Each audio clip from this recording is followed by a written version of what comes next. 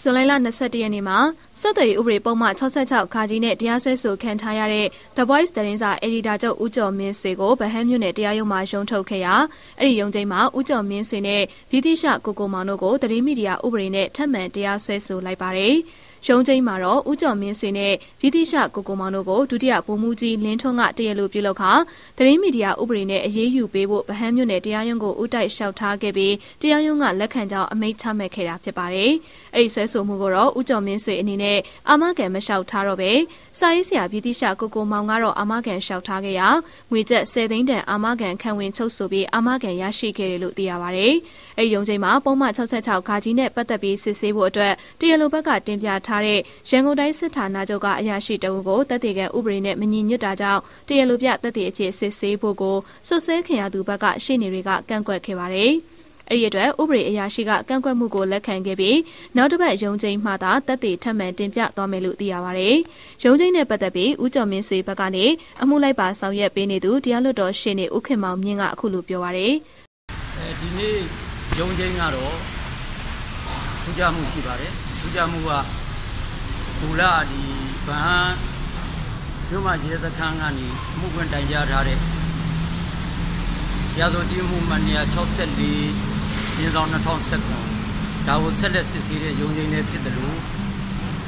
ဒီစွတ်သွဲတိုင်ကြားသူဒုတိယဘုံလင်းထွန်းကဗဟန်းမြို့နယ်တရားရုံးကိုဥတိုက်လျှောက်ထားတဲ့အမှုနဲ့ပတ်သက်တဲ့ပထမဆုံးဆင့်ခေါ်တဲ့ရုံးချင်းလေးဖြစ်ပါတယ်အဲ့တော့ကျွန်တော်ပထမ အမှု66ကာကြီးနဲ့ဆွဲဆိုထားတဲ့အမှုနဲ့ပတ်သက်ပြီးတော့ဒီနေ့တေလိုပြတက်တည်ဒါရန်ကုန်တိုင်းစစ်ဌာနချုပ်တက်နေမှုရုံးက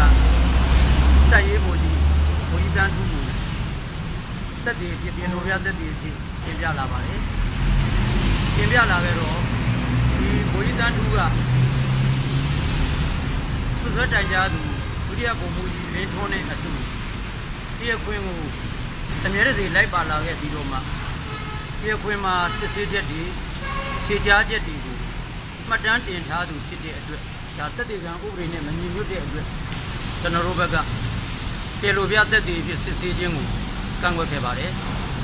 မလ26ရက်နေ့ကထုတ်ဝေတဲ့ The Voice သတင်းစာပါကြည်တောင်စုသစ္စာတယောစာနဲ့ပတ်သက်ပြီးအက်ဒီတာချုပ်ဦးကျော်မင်းဆွေနဲ့တယောစာရေးသားသူပြည်တိရှကိုကုံမောင်တို့ကိုရန်ကုန်တိုင်းစစ်ဌာနချုပ်ကဒုတိယဗိုလ်မှူးကြီးလင်းထွန်းကတရားလိုပြုလုပ်ခါဆက်သွယ်ဥပဒေပုံမှန်66ခါကြီးနဲ့ဗဟန်းမြို့မှာရဲစခန်းမှာအမှုဖွင့်ခဲ့တာဖြစ်ပါတယ်။တယောစာရေးသားသူပြည်တိရှကိုကုံမောင်ကိုတော့ဆက်သွယ်ဝင်ကြီးဌာနရဲ့သဘောထားမှတ်ချက်နဲ့အမှုကနေတရသေးလွှတ်ပေးခဲ့ပေမဲ့အခုအခါသတင်းမီဒီယာဥပဒေနဲ့ထပ်မံတရားစွဲဆိုခံရတာဖြစ်ပါတယ်။အမှုအတွက်နောက်ထပ်ရုံးချင်းကိုတော့ဇွန်လ28ရက်နေ့ကိုပြန်လည်ချင်းဆိုခဲ့ပါတယ်။